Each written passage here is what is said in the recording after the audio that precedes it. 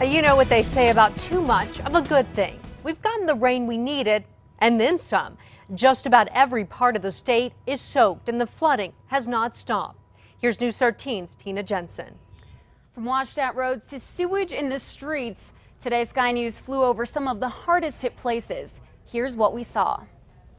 South of Belen, it was the National Guard to the rescue as soldiers helped evacuate residents from Bernardo, where they drove over what used to be a road and now looks like a lake. Water is four feet deep in some areas there. This photo sent from a viewer shows how the normally dry Rio Puerco is about 300 feet wide as it flows under I-25 and into the Bernardo area.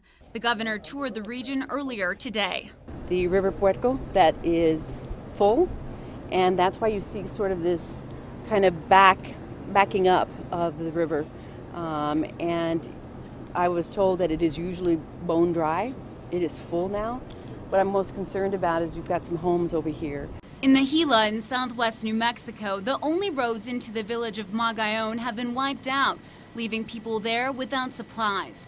10 miles west, the town of Alma is covered in mud, and parts of the catwalk trail in the Gila washed out. Grant schools were let out early and roads are blocked off, as these weekend floodwaters in nearby Bluewater led to big problems today. Now sandbags line parts of the town as high waters run near homes and businesses. And it's not only property damage that has residents concerned. Here in Grants, the heavy rains have caused manholes to overflow, leaving sewage running into the streets. We've been driving around looking at all the manholes coming up and where's all the sewage going? I'm sure it's going to wash somewhere, but where's it going to wash to? Grants, like a lot of New Mexico, dealing with the aftermath of a strange problem too much rain. Now, Grant schools are closed tomorrow because of flooding issues.